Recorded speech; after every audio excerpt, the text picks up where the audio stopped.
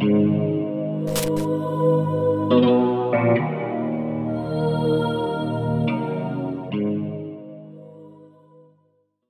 to the Original Gangsters podcast. I'm your host, Scott Burnstein, Quick Hitter Edition.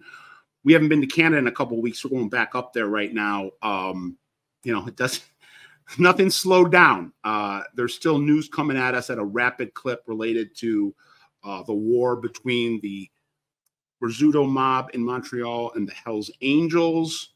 There's a lot of layers to this conflict, um, but there have been two arrests made over the last two weeks related to two of the murders uh, in this conflict that's been going on for 18, 19 months now, half a dozen bodies or so.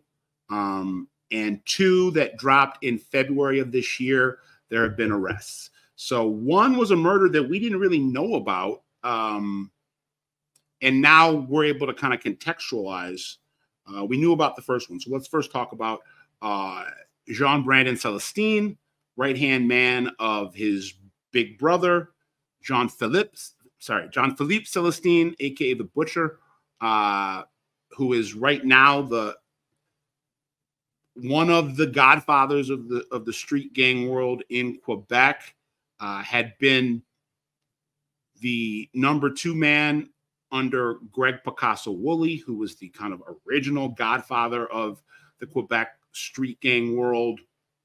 Woolley got killed in November of 2023, was caught in the middle of Hells Angels and Rizzuto's. He was trying to kind of play both sides of the fence, upset some of the Hells Angels by opposing them um, in, in, some business circumstances.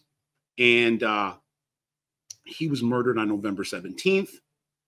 A Hell's Angel affiliate was then murdered uh, 10 days later on November 27th.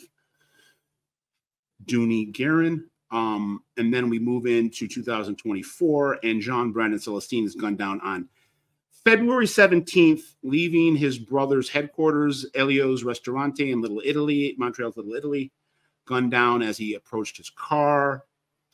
Uh, one of the shooters was arrested uh, or charged, I should say, charged this past week. His name is Nestor Manuel Pintos Chu, 35 years old. He was brought into custody back in April on a gun charge, and then they indicted him last week in the Celestine murder.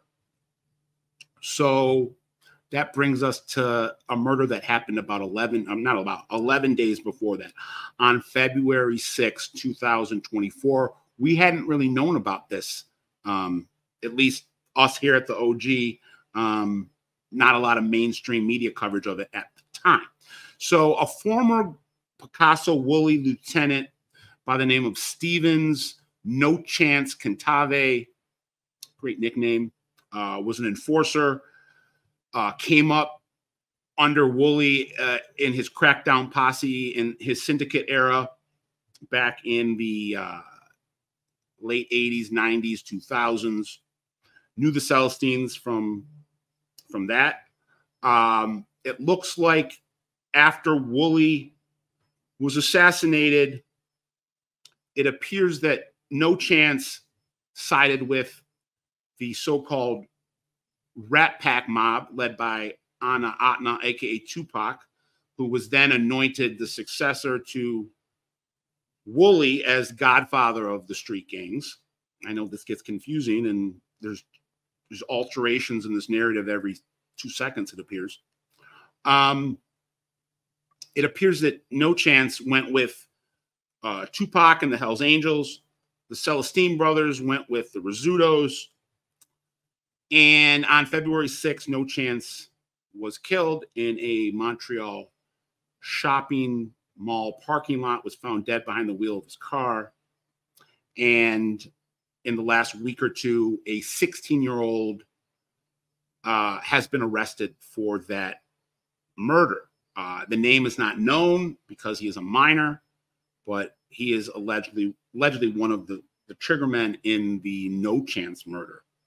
It appears that the John Brandon Celestine murder was in response to the No Chance murder. it was 11 days apart.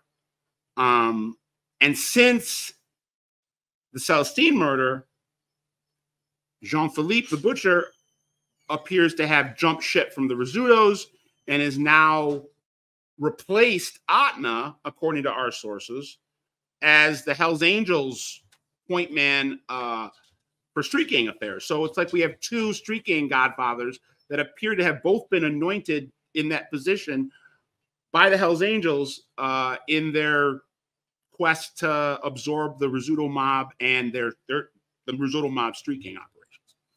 Um, it, it gets more confusing uh, by the second, and but we have two arrests in these cases. It's great to know that this uh, no chance Cantave murder happened. We didn't we didn't even know it, it, it had taken place. So now we know that. Um, I, I also want to note that what's unique, or it appears to be unique, about this particular conflict between the Hells Angels and the Sicilian Rizzuto mob, as opposed to other mob wars in more modern times, and I'm thinking in the United States, uh, places such as Philadelphia in the 90s, in New York with the Colombos in the 90s, in Brooklyn, Boston in the early 90s with uh, Cadillac Frank, late 80s. Um, those those hits weren't being contracted out. They weren't being farmed out. Those hits were being carried out by members of the groups that were at war. It appears that throughout this entire war, all of these hits that are being ordered by both sides are being farmed out um, to, in this case, in one of these cases, a 16 year old. Um, in, in other cases, guys that are very removed from the top echelon, uh, the shot callers in these wars. Marty Robert for the Hells Angels and and Leo the lawyer Rizzuto uh, for the Sicilians, respectively. So I don't know what that says, but it's definitely makes some type of commentary about all this. Um, I think you know more insulation, more buffers, but you also have more opportunities for things to go wrong. I, you know, in my analysis of it. But uh, just wanted to give you an update. So we have more information on what was happening back in February. We know just you know a couple weeks ago, uh, Tony Suzuki, Petrantonio, I apologize, um, avoided an assassination attempt. So things aren't tamping down, but we're getting some more, you know, context to, to what was happening. So just you know know that there have been arrests made in both the No Chance homicide and the John Brandon Celestine homicide. There'll be more news to report, I'm sure, as things continue to uh, go off the rails in Canada gangland. Scott Burnstein, OG Pod, out.